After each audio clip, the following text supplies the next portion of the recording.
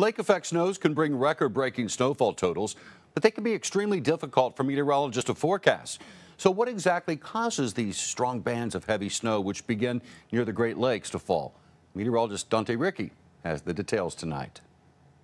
A historic lake effect snow event is possible this weekend in New York, especially along Lake Ontario and Lake Erie, where some snowfall totals could exceed four feet for the entire event through the weekend.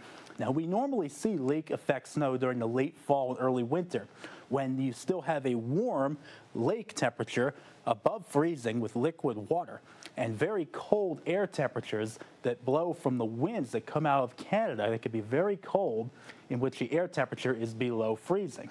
That causes evaporation to occur very strong above the warm lake, and the cool air gets filled with moisture and since it's below freezing, it can very quickly become snowfall, dumping large snowfall totals just beyond where the wind blows across the lake. Now, the more distance that that wind blows across the warm lake, the heavier your snowfall totals can be. And if that air temperature is below freezing, especially 25 degrees or below, you can even get some thunder snow in some of those heaviest snowfall bands that fall.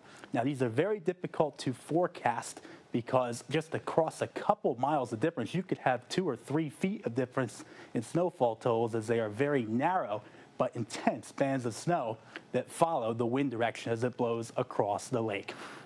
From the Eyewitness News Storm team, I'm meteorologist Dante Ricci.